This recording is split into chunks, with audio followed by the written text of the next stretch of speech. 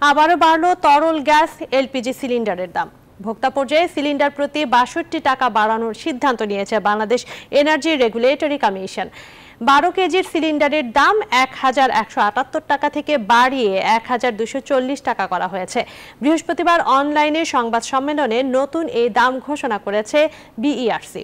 নতুন নির্ধারিত দাম আজ সন্ধে ছয়টা থেকে কার্যকর হবে। এর আগে জানুয়ারি মাসের জন্য বেসরকারি পর্যায়ে মূসক সহ প্রতি কেজি এলপিজি একশো দুই টাকা বত্রিশ পয়সা থেকে কমিয়ে আটানব্বই টাকা সতেরো পয়সা করা হয়। সে সময় সিলিন্ডার প্রতি কমানো হয় পঞ্চাশ টাকা। সংবাদ সম্মেলনে উপস্থিত ছিলেন কমিশন চেয়ারম্যান আব্দুল জলিল, সচিব আবু সাইদ, সদস্য মকবুল ই ইলাহি সহ অন্য সদস্যরা।